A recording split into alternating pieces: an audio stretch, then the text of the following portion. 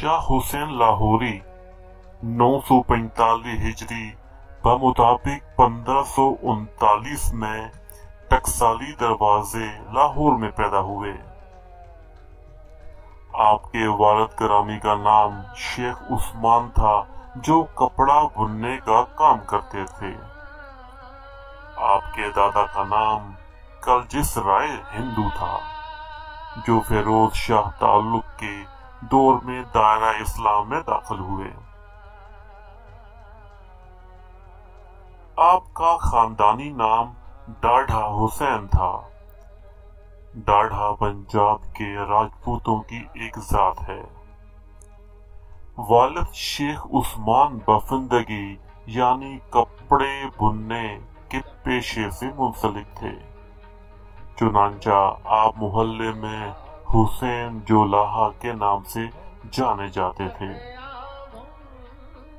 آپ کی پیدائش کے وقت آپ کے والد شیخ عثمان ٹکسالی دروازے کے باہر راوی کے کنارے آباد ایک محلے میں رہائش پذیر تھے جو تل بگ کہلاتا تھا۔ شاہ حسین تصوف کے فرقہ ملامتیا سے تعلق رکھنے والے صاحب کرامت صوفی بزرگ اور شاعر تھے وہ اس عہد کے نمائندہ ہیں۔ جب شہنشاہ اکبر مسند اقتدار پر برا جمان تھا۔ شاہ حسین پنجابی زبان ادب میں کافی کی مصنف جانے جاتے ہیں۔ وہ پنجابی کے اولین شاعر تھے، جنہوں نے ہجر اور فراق کی کیفیات کے اظہار کے لیے عورت کی پرتاثیر زبان استعمال کی۔ شاہ حسین نے بے مثل پنجابی شاعری کی۔ ان کی شاعری میں عشق حقیقی کا اظہار ہوتا ہے۔ اپنی زندگی کے ایک حصے میں شاہ حسین کی مادھو سے ملاقات ہوتی ہے۔ مادھو ایک برہمن زادے تھے۔ ان دو افراد کا تعلق اتنا گہرا ہو گیا کہ عوام شاہ حسین کو مادھو لال حسین کے نام سے جاننے لگے۔ گویا وہ دونوں یک جان ہو گئے۔ قربت کا یہ تعلق اتنا گہرا تھا جو ان کے درمیان میں پیدا ہوا۔ ان کی زندگی ہی میں بہت سی بدگمانیاں اور اختلافات کا باعث بن گیا۔ ہندوستانی تصوف کے ماہر جان سبحان لکھتے ہیں کہ ایک ہندو لڑکے اور مسلمان فقیر کا یہ انتہائی قریبی تعلق ان کے محاصرین کے نزدیک قابل شرم ہونے کی وجہ سے قابل اعتراض کردار کا مظہر تھا۔ جبکہ جان سبحان ان دو افراد کے درمیان میں تعلق کے اس ناقابل صبر کشش کو عشق کرا دیتے ہیں۔ اس طرح پنجابی تاریخ دان شفیع عقل مادھو اور شاہ حسین کے اس تعلق کو لا محدود محبت کہتے ہیں۔ اور اس تعلق کو بیان کرنے کے لیے زبان و بیان کے وہی پیرائے اختیار کرتے ہیں جو عام طور پر مرد اور عورت کے تعلق کو بیان کرنے کے لیے اختیار کیے جاتے ہیں۔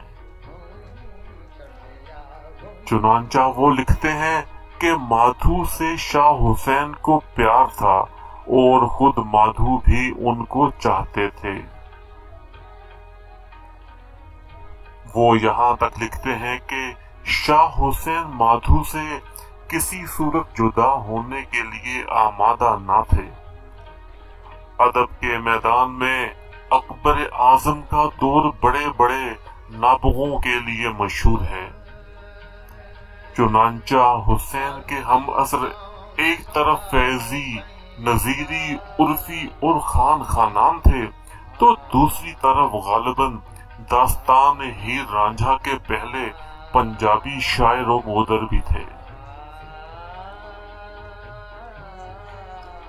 ہندی اور بھکتی ادب میں بھی محرم نام لیے جاتے ہیں، لیکن زینشین کر لینے کی بات یہ ہے کہ شاہ حسین نے مرکز حکومت سے دور رہ کر بھی ادب کے میدان میں اپنا ممتاز مقام پیدا کریا۔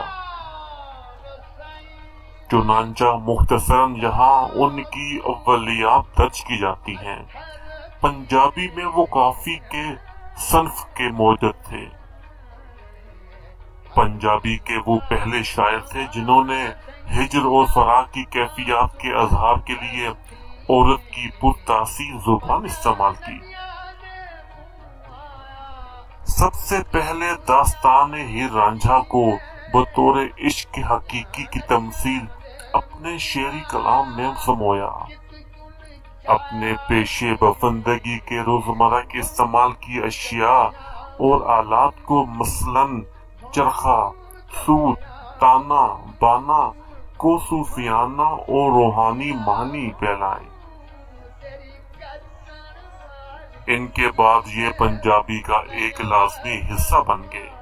پنجابی کو ایسے مصرے، تشبیہات اور موضوعات دیے کہ ان کے بعد آنے والوں نے یا تو ان کو اپنی طرف منسوخ کر لیا، یا پھر ان پر تباہ آزمائی کی۔ مثلا، رانجھا رانجھا کردی نی میں آپے رانجھا ہوئی۔ لاہور میں برسا برس تک درویشانہ رقص و سرود کی محفلیں آباد کرنے کے بعد یہ درویش پندرہ سو ننانوے میں اللہ کو پیارے ہو گئے۔ ان کی قبر اور مزار لاہور کے شالیمار باغ کے قریب باغبان پورا میں موجود ہے۔ ہر سال میلہ چراغاں کے موقع پر ان کا عرس منایا جاتا ہے۔